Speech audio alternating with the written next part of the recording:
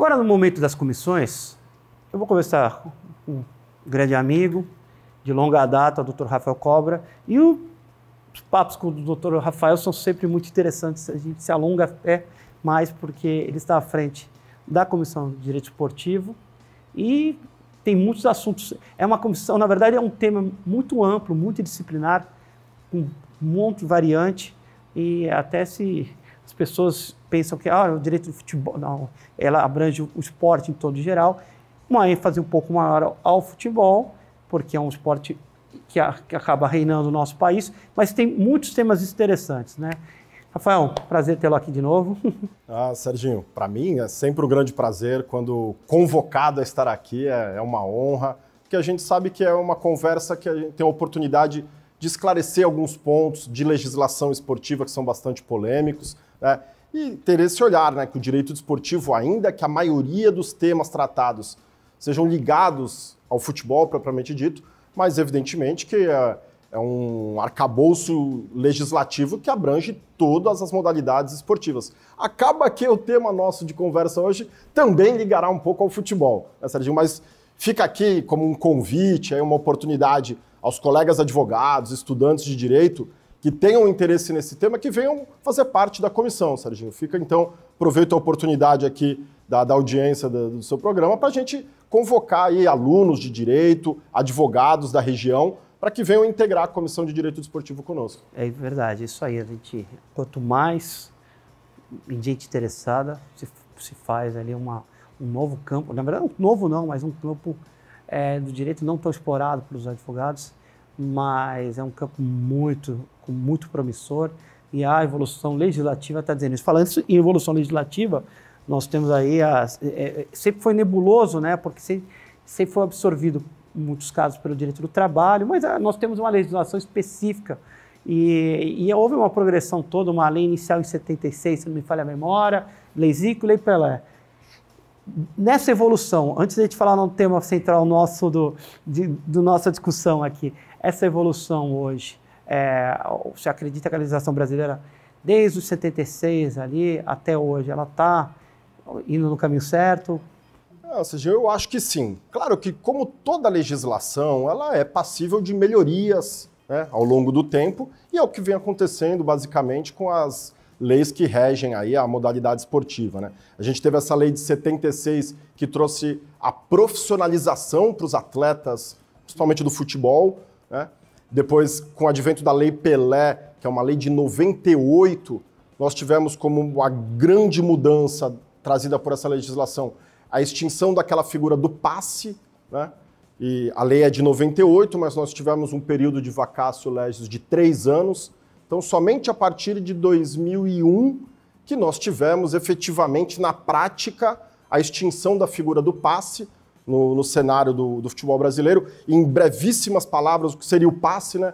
Antigamente, antes dessa lei Pelé, o vínculo de trabalho do, desportivo do atleta, ele era autônomo em relação ao vínculo de trabalho. O que isso significa? Acabava o contrato de trabalho de um atleta com um clube e ele permanecia vinculado desportivamente e só podia firmar um novo contrato de trabalho caso um clube interessado pagasse uma indenização àquele clube anterior. A partir de 98, a lei, e de 2001, efetivamente, o vínculo desportivo passou a ser acessório ao contrato de trabalho, nada mais lógico, né? Então, essa foi uma grande mudança. A gente teve uma segunda alteração na Lei Pelé, que a gente pode chamar de uma nova Lei Pelé em 2011. Trouxeram novos conceitos bastante interessantes e tivemos ao longo dos anos algumas outras legislações que também abordam aspectos esportivos, como Estatuto do Torcedor, né? e a mais recente, que acho que vai ser o tema central aqui da nossa conversa, que é a lei que possibilita a criação das sociedades anônimas do futebol. Né? Então, veja que é um histórico de evolução da legislação. Se você imaginar, na primeira vez que foi falado empresa, é, na lei Zico, de 90, aí nós tivemos uma outra roupagem na lei Pelé, mas tudo incipiente, apenas uma, uma, uma menção, é, uma menção na lei, mas sem é como se a gente não tivesse só o, o não tivéssemos o conteúdo, só tivéssemos a embalagem, e, porque faltava, porque é, é, é nós temos um, sempre tivemos alguns problemas, também problemas das federações, da Federação, Confederação Brasileira de Futebol, que ao longo do tempo tinha uma, uma gestão muito grande sobre tudo,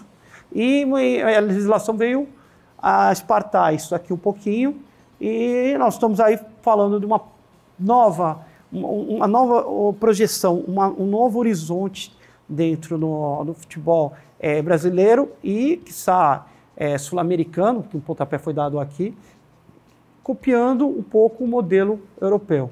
Né? E isso todo, é, nós tivemos experiências do Cruzeiro, agora o Ronaldo comprando, e os times começando a se mobilizar, Botafogo. Mas aí eu pergunto para você, é, nós estamos falando de um, talvez uma nova era ou não? Sérgio, vale dizer o seguinte, que a possibilidade de um clube adotar o modelo empresarial, ela já era permitida antes da lei da SAF, né? Sim. Tanto que nós temos alguns exemplos de sucesso, como, por exemplo, o Red Bull, né? agora nessa junção com o Bragantino, mas ele já adotava um modelo empresarial há bastante tempo. E a gente tem alguns casos de não muito sucesso, vamos tratar assim. Você trouxe isso em, em 2020, na nossa última entrevista, do Figueirense. Figueirense é um exemplo concreto cê, disso. Acabou de acontecer e você Exatamente. falou. Exatamente. Estava na, na, expectativa da, da legislação, é. você lembra? E aí você falou, olha, tem alguns casos, eu não sei como isso pode chegar. É uma, é até uma boa é, lembrança, porque é, naquele momento você estava ainda, é, olha, não sei. É, era um momento de discussão sobre uma lei que possibilitasse a criação da sociedade anônima do futebol então a gente tinha ali um cenário ainda incerto de como a se a legislação viria e, em vindo, qual seria efetivamente seu conteúdo. Então ali a gente especulava, mas como eu vinha dizendo é o seguinte, a adoção do modelo empresarial sempre foi permitido. Lá, o primeiro clube que adotou o modelo empresarial foi o Vitória da Bahia, lá no, há muitos anos atrás. Mas não deu certo e rapidamente se desfez aquele formato empresarial. No interior de São Paulo, a gente tem alguns clubes que já adotavam também esse modelo empresarial, seja através de uma sociedade anônima, seja através do modelo de limitada. Nós tivemos um caso interessante em Santa Catarina, que era do Tubarão, que era um clube que se denominava como um clube startup. Foi criada uma SPE para desenvolver o futebol profissional da equipe catarinense. Mas o que eu acho, Serginho, que a lei da SAF, que é do ano passado, né, é a lei 14.193 de 2021, ela traz melhorias para os clubes que busquem esse formato. Ela traz incentivos e certamente que o principal ponto que a lei da SAF incentiva, estimula um clube a adotar esse modelo é a adequação no aspecto tributário sempre foi um grande empecilho um clube buscar o formato empresarial, porque como uma associação sem fins lucrativos, ela, esse clube ele é isento de uma série de impostos que uma empresa tradicional paga. Principalmente, Serginho, para você ver o alcance disso, os clubes associativos, eles têm talvez como a principal fonte de receita, algum desses clubes, a transferência de atletas. Você sabe dizer quanto que um clube associativo paga de imposto para o governo nessas transferências que envolvem milhões de euros? Zero. Por isenção. Agora, a partir do momento que adota um modelo empresarial, passa a ser tributado. Então, antes da lei da SAF, e daqui a pouco a gente fala o quanto a lei incentiva nesse aspecto, antes da lei da SAF, um clube poderia adotar o modelo empresarial, mas ele seria tributado como uma empresa comum, uma, uma SA de, outras, de outros objetos, de, de atividade, um time de futebol nesse sentido seria tributado da mesma forma. O, a vantagem, antes da lei da SAF, que alguns clubes buscavam esse modelo empresarial, era na tentativa de trazer investidores. Porque se eu, o grande empecilho de um clube associativo em captar investimento é a ausência de continuidade na gestão de um clube. O modelo associativo você passa por eleição a cada dois, três, quatro anos, dependendo do, do estatuto do clube.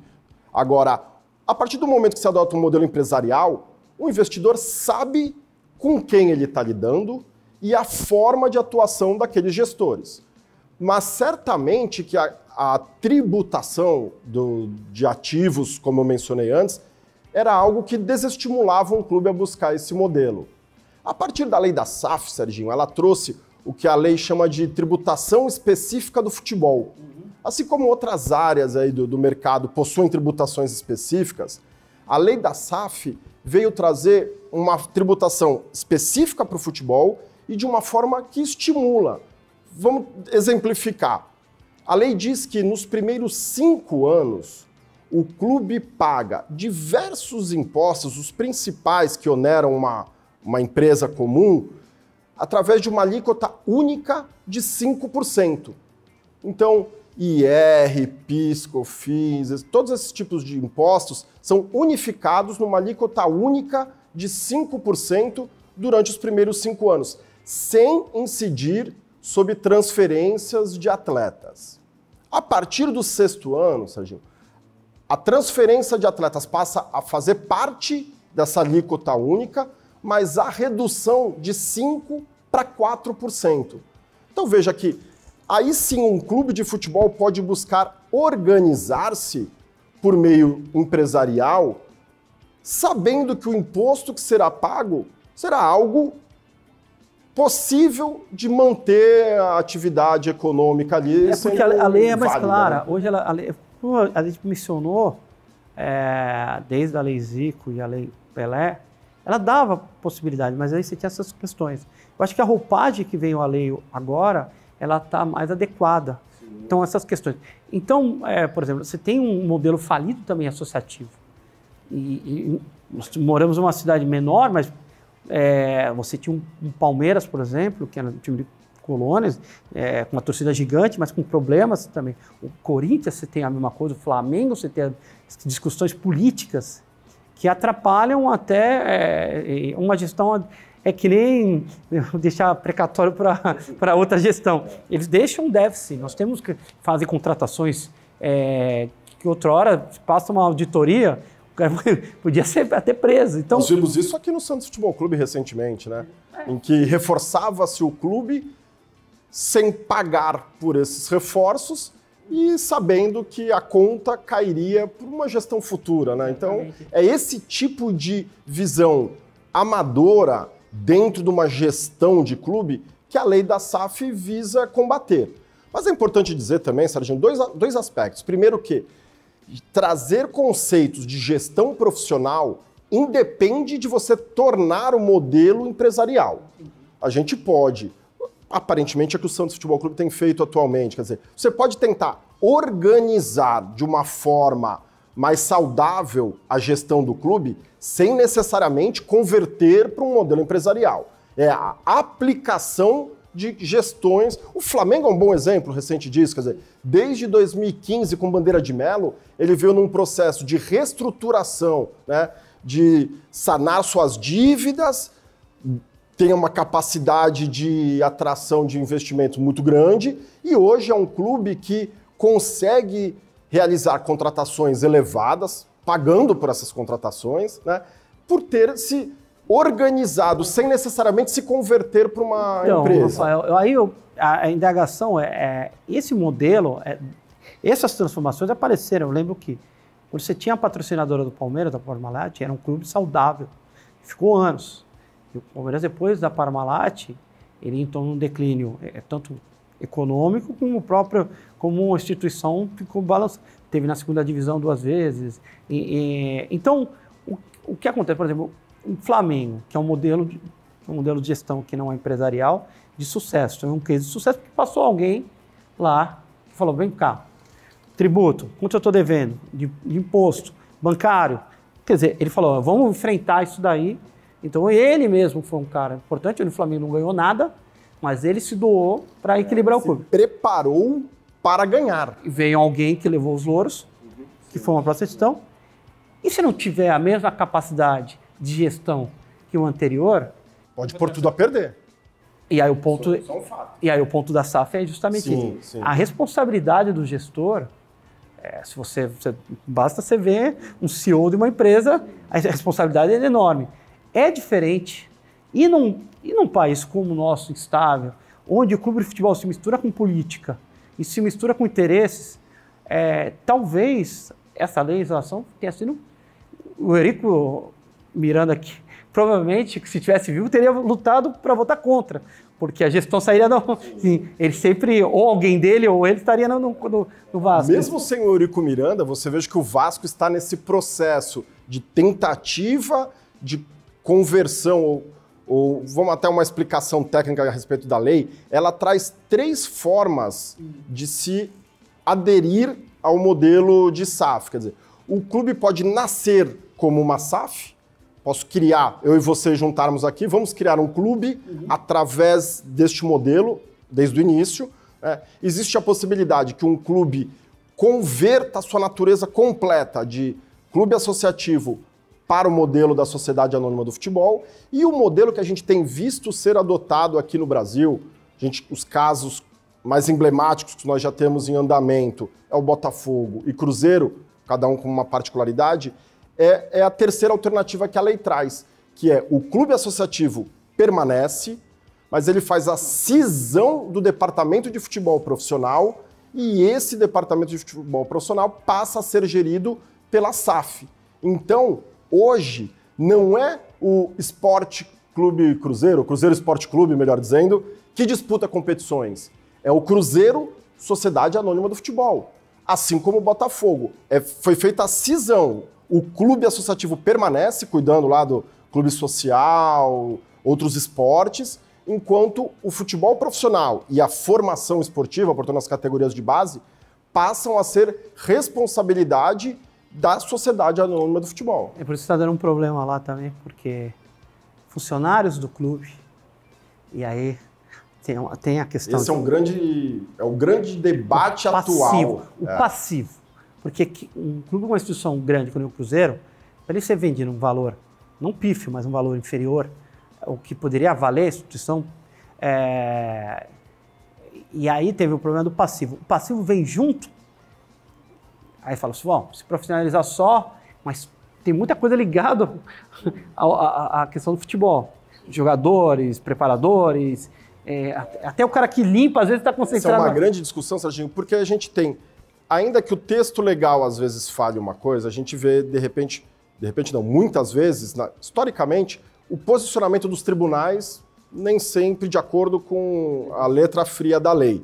Mas a lei da SAF, ela prevê essa condição ela diz que o, a SAF ela somente pode ser responsabilizada pela, pelas dívidas anteriores do clube associativo se estas dívidas forem ligadas ao objeto da SAF, que é o futebol profissional.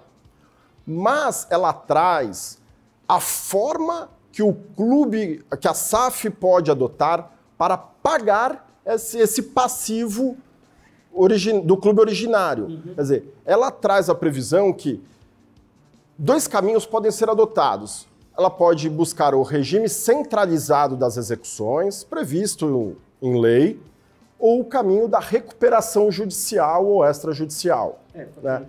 Por meio da centralização das execuções, que é um caminho que muitos clubes têm adotado, a, a lei ela traz a previsão exata que o, a SAF ela destinará 20% das receitas mensais ordinárias para pagamento destes credores. Ela precisa apresentar característica do regime centralizado de execuções.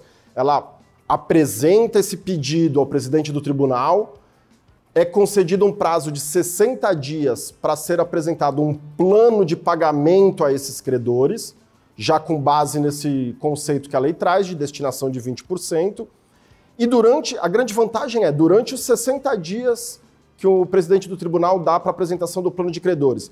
E ao longo do tempo, o clube não pode sofrer qualquer tipo de restrição judicial. Penhoras, como habitualmente tem acontecido. E a, mais ainda, o regime centralizado de execuções existe na legislação anterior à SAF. Só que o formato que a lei da SAF traz é muito mais vantajoso. Por quê? além da destinação específica de um percentual, ela dá um prazo de seis anos para o pagamento de todos os credores e vai além. Após os seis anos, não é que você precisa pagar 100% daquele plano de credores. Se ao término dos seis anos ficar comprovado que foi pago 60% daquele plano é facultado ao clube dilatar o prazo por mais quatro anos, reduzindo a alíquota de, de destinação de valores, o percentual, melhor dizendo, de 20% para 15%. Então veja que a lei da SAF ela vem tentar estimular. Mas ela, ela abrange, por exemplo, o credor, coisa que os clubes tinham muito, é, INSS, é, ISS, INSS e, e INSS e, e tributos sei lá. É, grandes tributos. passivos são impostos, Os impostos e... e... aspecto trabalhista, né? Que a gente vê às vezes é. tem uma ação trabalhista, sim, mas uma ação trabalhista pode representar 15, 20, 30 milhões de reais num, num movimento eu, final. Era o caso do é, Botafogo, é, tinha uma, uma E, e a vantagem, Serginho, é o seguinte: diferente de uma recuperação judicial, no regime centralizado das execuções, o credor não precisa concordar com o plano apresentado. Se for apresentado um plano ao presidente do Tribunal de Justiça e este homologar, os credores não têm como se insurgir contra aquela previsão.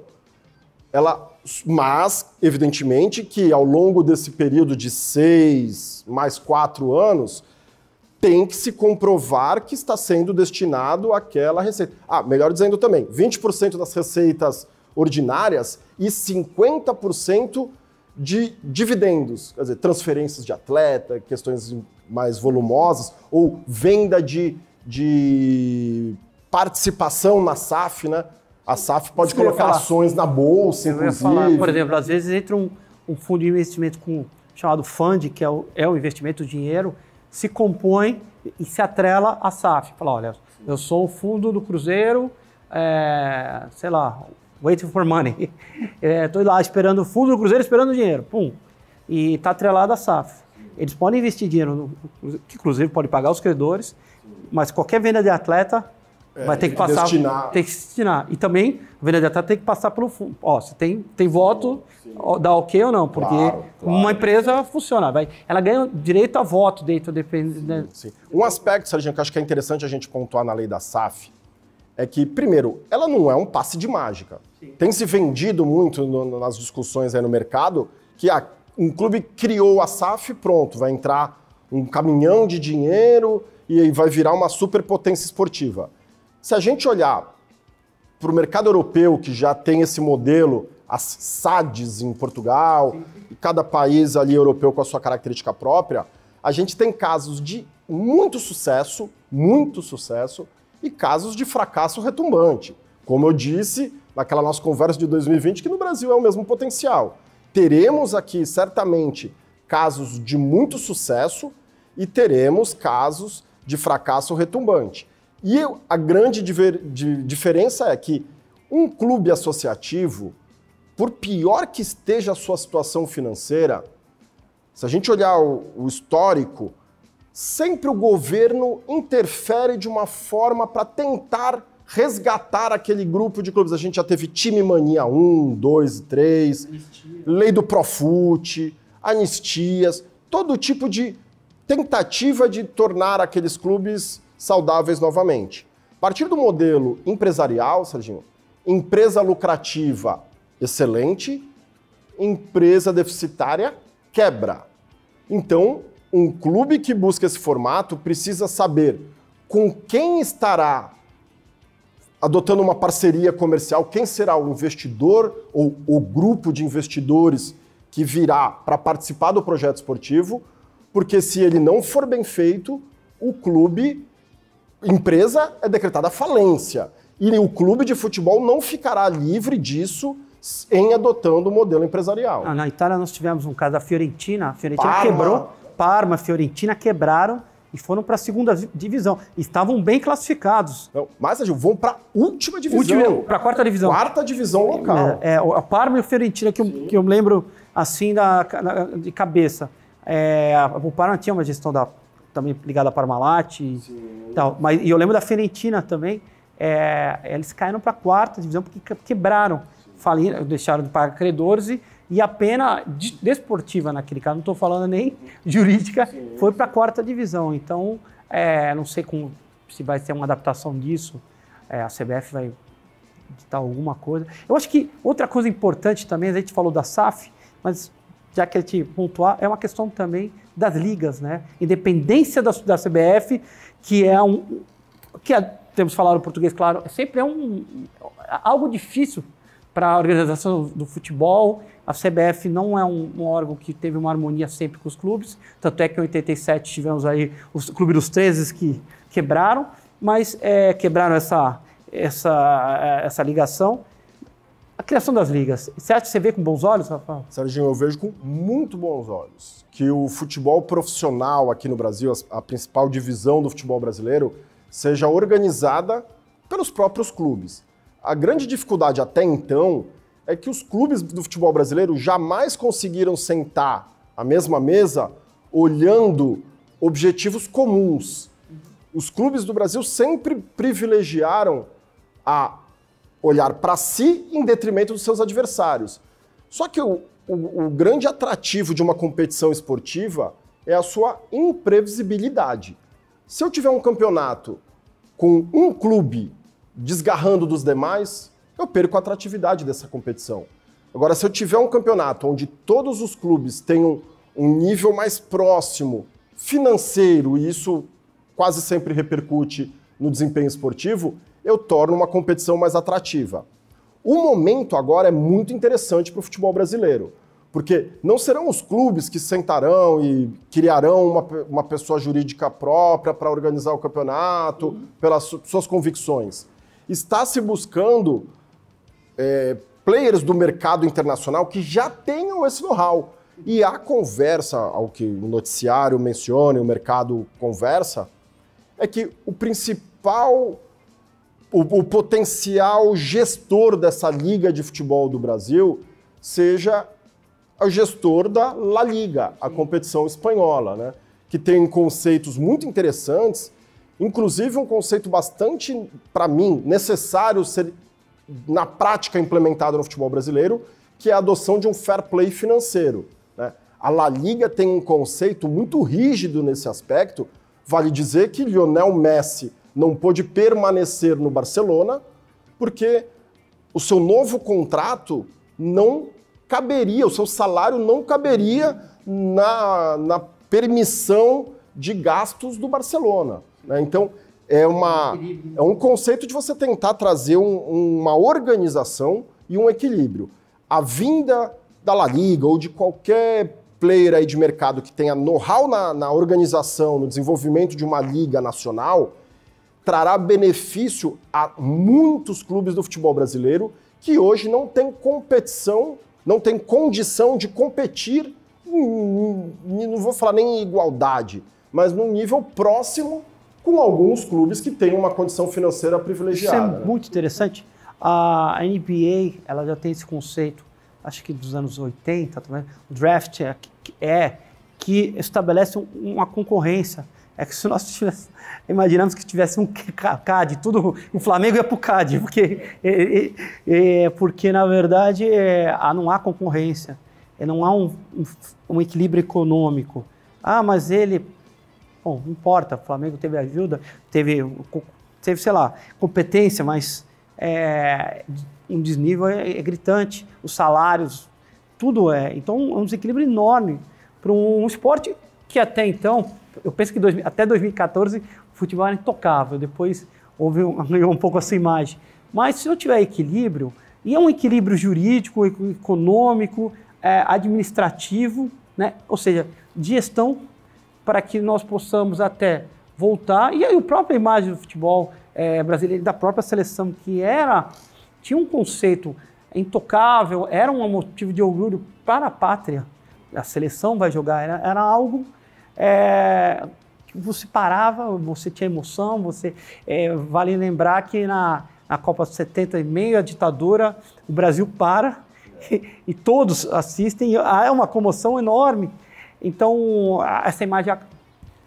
E acabou também para falta de gestão, falta de visão. E, e falta de bons profissionais, como o Rafael que está aqui, que é um ótimo profissional, para a gente trazer, porque entende na matéria, porque trabalha na matéria há muito tempo, estuda, tem grandes profissionais, é, tem gente que se atualizou, tem gente que viajou, tem gente que fez gestão lá fora. Então chegou um momento é, onde o direito esportivo, para quem atua muito tempo como você, é, e bons profissionais que eles estão espalhados pelo país, é, é um momento propício. É como se fosse uma recompensa numa luta onde você tentou sair sempre, respirar, mas havia vários empecilhos. Por que a legislação da lei do. A, a, a, é, nós tivemos problemas, você trabalha como empresário, você tem dificuldade. Depois você trabalhou para os clubes, você viu a dificuldade com os empresários. Quer dizer, é um mundo sempre. Sim, sim. É, até porque muita coisa, Serginho, não está previsto em lei, e sim previsto em regulamentos feitos pelas entidades de administração daquela modalidade esportiva, do futebol propriamente dito. Quer dizer, a FIFA tem nos seus regulamentos definição de regras que, por incrível que pareça, no território nacional brasileiro prevalecem sobre a lei federal nossa. Então veja o quanto é, é cheio de particularidades. Então, um profissional com conhecimento na área do direito desportivo certamente trará segurança jurídica para quem estiver contando com a sua assessoria. Então, é um, daí a importância do estudo, do fomento, da divulgação do direito desportivo e aí eu falando um pouco da, da, da nossa comissão aqui de direito esportivo, é um olhar que a gente está buscando de levar para dentro das universidades locais a matéria do direito desportivo, não como uma matéria autônoma na grade curricular, mas sim levar aulas de direito desportivo, como você brilhantemente comentou no início, Serginho, o direito desportivo ele é multidisciplinar. A gente tem aspectos do direito do trabalho, do direito civil, direito internacional, direito administrativo, previdenciário. Qualquer matéria hoje das, da grade curricular tradicional das universidades, nós temos o potencial de colocar aulas daquela matéria no ambiente esportivo. Então, talvez esse seja o maior atrativo, fascínio que o direito desportivo pode despertar nos jovens alunos ou advogados que buscam ali um, um novo caminho na sua profissão. Para ver a magnitude do direito esportivo, a pirâmide do Kelsey treme até no, né, teoria tridimensional do direito, porque algo que é criado lá fora, ele entra no nosso ordenamento superior à lei nacional, quer dizer, ela dá aquela... Eu vou até trazer esse exemplo, Serginho, para quem estiver acompanhando aí a, a nossa conversa, falar, pô, mas como assim isso é possível? Vou dar um exemplo concreto onde isso é aplicado. A Lei Pelé, ela fala que um atleta pode assinar um contrato profissional a partir dos 16 anos de idade e a duração mínima é de três meses, a duração máxima é de cinco anos. Ponto. Essa é a regra. O regulamento de status e transferência de jogadores da FIFA, que é o, é a, é o documento mais importante do futebol mundial, ele prevê que todo atleta menor de idade, menor de 18 anos, somente pode firmar um contrato de no máximo três anos de duração. Então veja como que a gente organiza esses dois conceitos na realidade do futebol brasileiro. O clube brasileiro pode sim fazer um contrato profissional com um atleta de 16 anos valendo 5 anos. Mas o próprio regulamento da CBF já traz essa, essa observação que, em caso de uma relação internacional, ou seja, se um clube do exterior tiver interesse na aquisição do vínculo esportivo de um atleta, somente vão ser considerados válidos os três primeiros anos do contrato de trabalho. Então veja, se o interesse de um clube brasileiro no atleta, de um clube brasileiro, valem os cinco anos.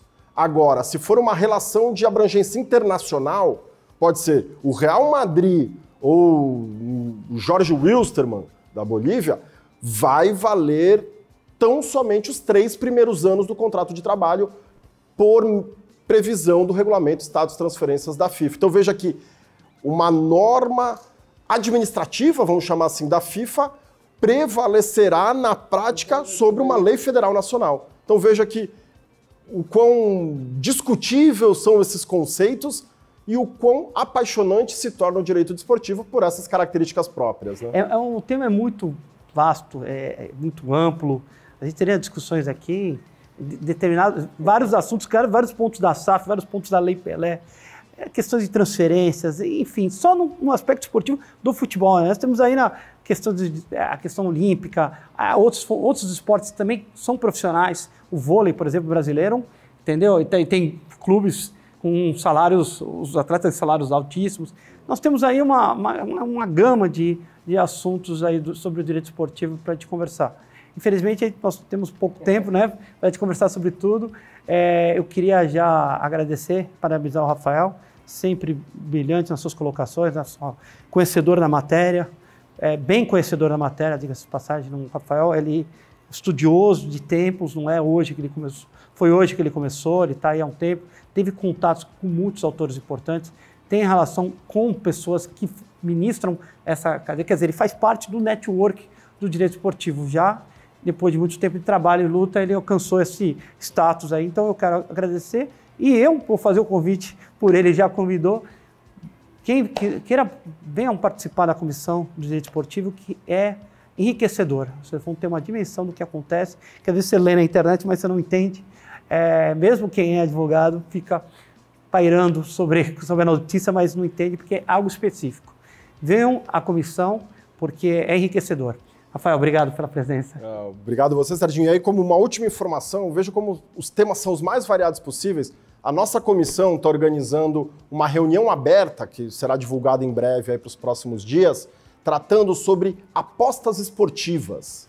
Né? legislação recente e a conexão, a ligação, às vezes, às vezes não. Quando há essa conexão não é nada saudável para o esporte, a, a, conexão de apostas esportivas e manipulação de resultados, né? que talvez seja o maior malefício que o esporte mundial vem vivendo há algum tempo. Então, esse será um tema que nós vamos abordar, entre outros tantos que virão adiante. Então, já fiz o convite, Serginho já fez, e eu renovo mais uma vez. Venham participar da nossa comissão, tá? entre em contato aqui com o setor de comissões da OAB, irá ter toda a formalidade para isso, farão parte do nosso grupo de WhatsApp e estarão aí convidadíssimos a participar ativamente conosco. Serginho, obrigado pelo convite, grande prazer, e fico aguardando um próximo convite.